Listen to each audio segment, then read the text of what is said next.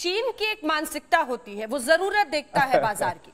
बाज़ार की ज़रूरत को देखकर फिर वो उन चीज़ों के प्रोडक्शन को बढ़ाता है और फिर मार्केट पर कब्जा करता है।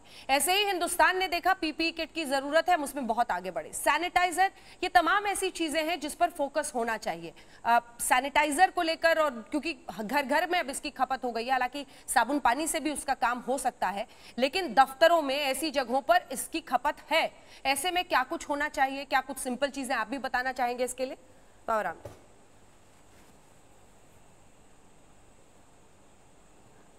देखो, एक तो मैं बताना चाहूँगा, सारे मीडिया के बंधुओं को और जो ज़्यादातर ऑफिसों में लोग काम अब पर उतर आए हैं, वो दिन में 25-50 बार तो सैनिटाइजर लगा लगा करके हाथ फट गए।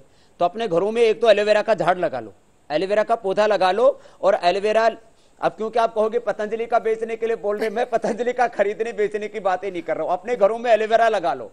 अपने घरों में गिलोय लगा लो मनी प्लांट बहुत लगाए किसी के घर में मनी नहीं आया। तो अपने हाथों पर लगा लेना नहीं तो ये हाथ खुरदरे हो जाएँगे थोड़े दिनों के बाद में आप किसी को छुएँगे तो लोग दूर भागेंगे आपसे। तो एक तो ये काम कर ले सभी लोग अपने घरों में एलोवेरा लगा ले अपने घरों में गिलो लगा ले पतंजलि की लेने की ज़रूरत नहीं है ना मिले तो ले लेना कोई चाइनीज़ नहीं है पतंजलि। अगली बात मैं इसके अंदर ये बताना चाहता हूँ कि हम आपने भी एक दिन ट्वीट किया था अंजना जी, मैंने आपका वो ट्वीट देखा था रिकवरी रेट को लेकर के और डेथ रेट को लेकर के। हम यदि प्राणायाम करते हैं, गिलोय पीते हैं तो 100 percent recovery rate 100 percent recovery rate के साथ साथ डेथ रेट को ज़ीरो परसेंट पे ला सकते हैं। तो भगवान करे ना हो ऐसा।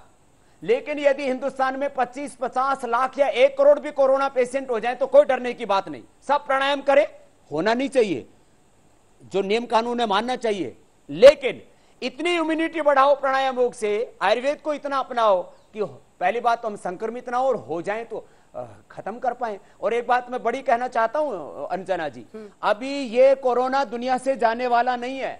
अब कोरोना को तो हमें कूटना पड़ेगा इसी की चटनी बनानी पड़ेगी हमको इसी के साथ जीना पड़ेगा हमको। अभी जैसे ब्लड प्रेशर शुगर टीबी बहुत सी कम्युनिकेबल नॉन कम्युनिकेबल डिज़ीज़ है ऐसे ये भी इस धरती पर रहेगा। और इसके साथ ही हमें जीना होगा तो उसके साथ उसके लिए सबसे बड़ी चीज़ है। और हमने जिनको भी योगाभ्यास कराया और आयुर्वेद की जड़ी बूटियाँ दी और ये कोई स्वामी रामदेव का इसके ऊपर कोई पेटेंट नहीं है।